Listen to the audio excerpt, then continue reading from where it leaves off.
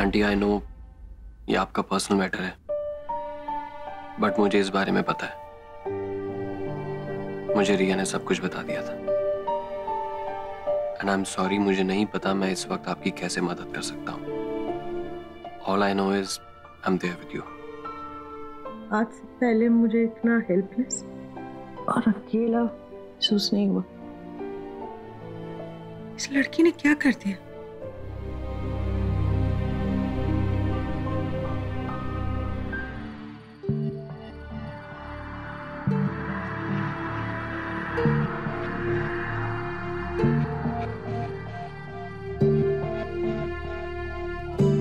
मैं तुम्हें तुम्हारे कमरे में ढूंढ रहा था तुम यहाँ टेरेस पे हो। What the hell is this? क्या बखेड़ा खड़ा किया हुआ है तुमने? अपने मैटर्स ठीक से संभाल भी नहीं सकते और सब खराब कर दिया। बस हो गया। नहीं मतलब और कुछ बोलना है तो बोल लो। क्या है ना कि जब तक चार लोगों की बात नहीं सुनता तब तक मेरा खाना हजम नहीं होता। थोड़ा और कोस लो। नहीं? कभी खुद को ना मेरी जगह पे रख के देखना फिर समझ में आएगा कैसे अपने मैटर्स को सॉल्व करते हैं। अपनी माँ और अपने प्यार के बीच में किसी एक को चुनना पड़े ना कैसा लगता है तुम नहीं समझोगे? It's not easy for me मैं तुम्हारी जगह कभी होता ही नहीं। क्योंकि ना मैं तुम्हारे जैसा इमेच्योर हूँ ना ही stupid What? I can't believe you just said that. Really अपने आप को देखो जरा। यू डिस्कस्ट मी तुम इतने कमज़ोर हो कि तुम पर तरस आता है। इसलिए मैंने सोचा कि तुम्हारे लिए बेहतर होगा कि कुछ टाइम के लिए तुम जयपुर से बाहर चले जाओ। मैं कहीं नहीं जा रहा। नॉट गोइंग एनीवेयर घर पर रहोगे तो सबका दिमाग खराब होगा। मैं तुम्हारी टिकट्स बुक करवा रहा हूँ। जब तक मायरा वापस आएगी तब तक मैं सब सॉर्ट आउट कर दूँगा। Okay okay very good mister Sharma तो ये तरस मुझ पे नहीं खुद पे खाया जा रहा है ना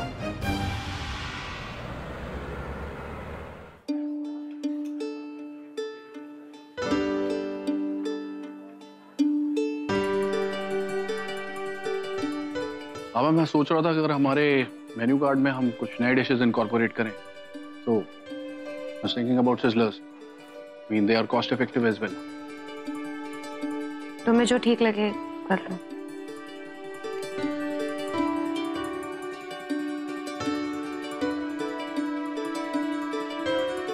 Okay. You like to have coffee? नहीं. कॉफ़ी से भूख मिट जाएगी और मुझे घर पे जाके खाना खाना है.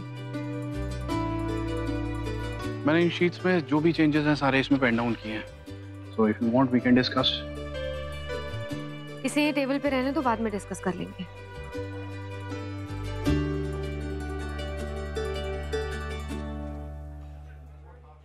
I hope everything is fine तुम परेशान लग रही हो।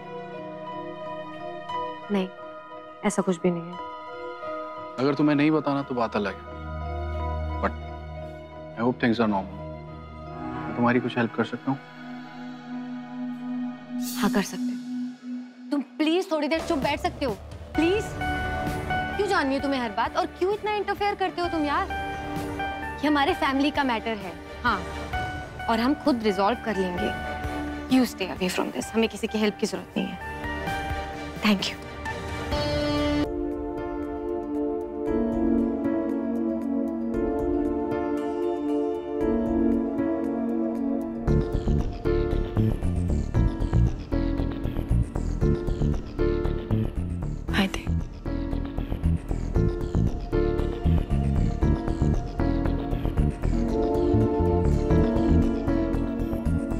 रिया